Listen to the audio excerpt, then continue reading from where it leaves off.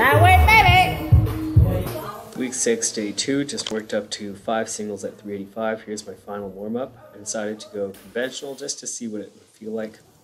Uh, you can see I get soft knees, but I haven't done conventional in over a year, so I think the form isn't too bad. Uh, lower back wasn't rounding or anything like that. There was just sumo to compare it. Here was the final working set, the fifth set, and then after that, did five singles at 80% on bench, which was 210. And also moved very, very fast. Uh, day three, did three singles at 240, three pause singles. Uh, this is 91%. I'm used to having a spotter with me, but no one was with me that day, so I gave myself a handoff and it moved pretty good.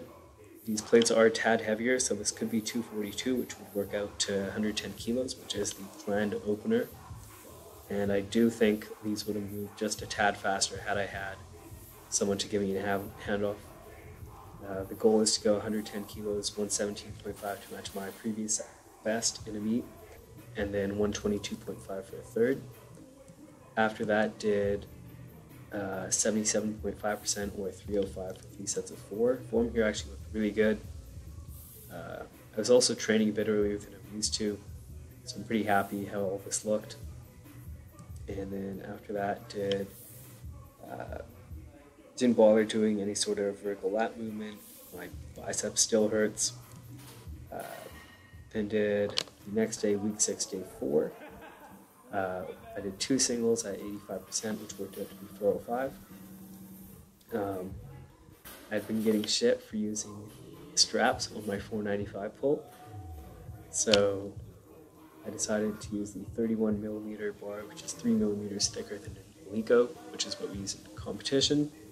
And I held it for 30 seconds.